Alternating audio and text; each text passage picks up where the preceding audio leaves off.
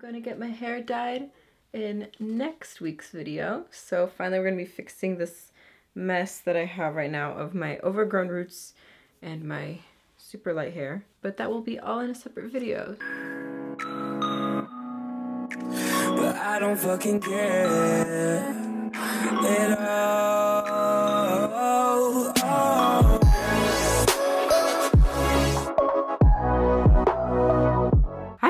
It's Doreen and welcome back to my channel.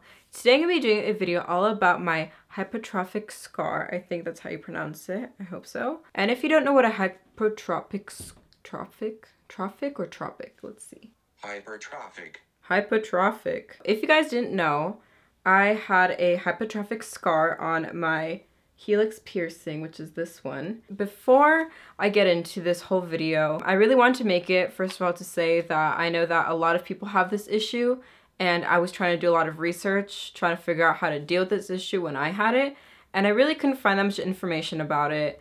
And I noticed that it was a very common thing to occur when you get especially new piercings. So I'm going to try my best to give you guys my treatment plan on how I was able to get rid of it. I'm going to quickly give you guys a disclaimer that there will be some disgusting photos in this video. So if you don't like that, just make sure to click away. The reason why I'm to be putting these photos in this video is because I do want to show you guys the progress of how I was able to get rid of it and the before and after photos as well. So you guys can see that not always is it to be perfect within the first try. So first, I'm just to give you guys some background about my piercing and all about hypertrophic scars. How to know what is a hypertrophic scar and how to know if you have one is that usually occurs in new piercings and it can also occur in piercings that you've had in for a while but they aren't fully healed. What it is basically is that when bacteria gets into your earring either from not cleaning it properly or a number of different reasons it can occur. It starts to have a little bump either around the piercing or under it or above it. Mine was right under my piercing. Again, giving guys some backstory, my earring, I really wanted to save money, but I did go to a lot of different piercing shops that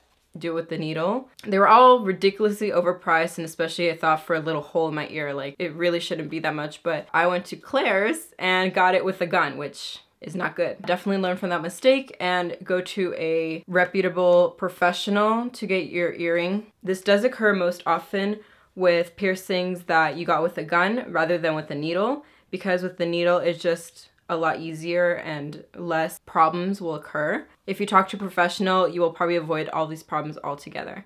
But if you do have it regardless, I got my piercing back in November of 2017 and I first started to notice a little bump starting to form around my earring and it just kind of gradually grew and grew and I was like, oh no, this is not good.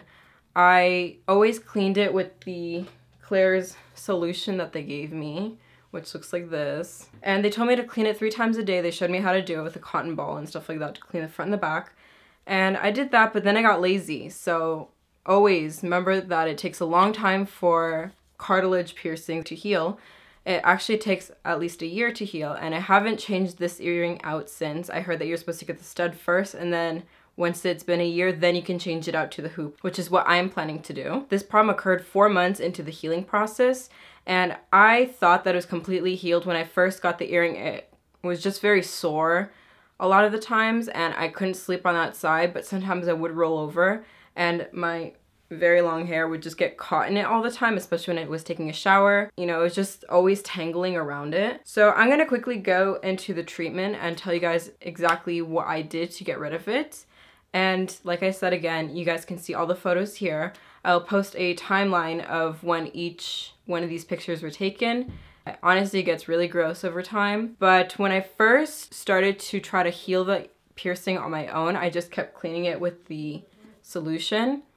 And then it kept growing and it just was not good at all. And I was like, oh my God, I'm gonna have to take out my piercing and it looks so ugly. And I would always have my hair down to hide the fact that I had it. There's a lot of things you can do to help heal this. Of course, this is my process people might have different things that works for them and things like that. I heard that using tea tree oil really helps. I went to, I think it was Marshall's or TJ Maxx, and I found this tea tree oil, and it is Thursday Plantation Australia's original antiseptic essential oil, 100% pure. And it says even on here, it says It's for cuts and abrasions, pimples, and insect bites. So product not tested on animals and it's vegan. So it's all good stuff in here. And as you can see, I've been using this thing for a month and it's still very filled up. And when I got it, it was honestly not even filled up all the way. I just kept putting, I mean, I read online that it's not the best to put essential oils on the piercing or the uh, problem area directly, but I didn't really listen to that. I just did what felt right for me.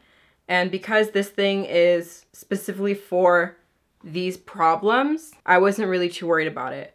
But if you are worried about that, then you should probably dilute it, put it into some water and then mix it up and then you can soak your ear in it. But for the tea tree oil, I just put in one drop every morning and night. So every morning when I woke up and every night right before I went back to sleep. And I just, again, like I said, I just put one drop and it would kind of drip down on the side, but I try to put it where it's in between the bump and the earring. And then I just kind of wiggle my earring a little bit just to make sure that it gets inside and not just sit on top of it. And what this does basically is just really dry out the area. Before I put it on, I did actually take a Q-tip and use the solution and I would clean the area first then put it on and I would leave it to soak. So that way it just really cleans out the area. The tea tree oil can really just work its magic. So what it does is basically just dry your skin and it will eventually start to make the bumps smaller and smaller and you will find little flakes of skin coming off over time.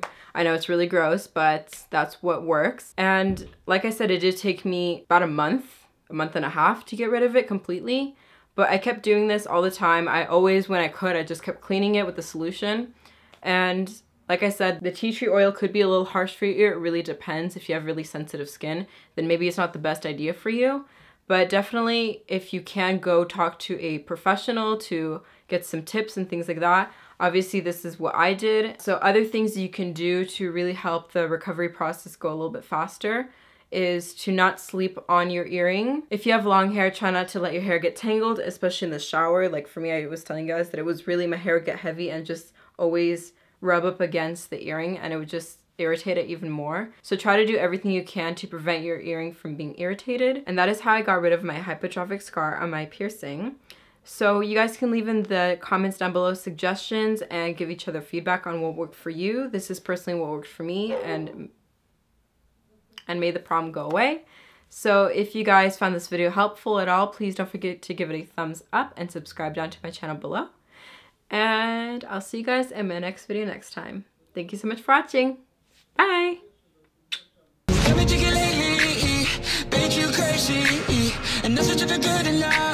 I run a little song for you It go like oh, oh, oh,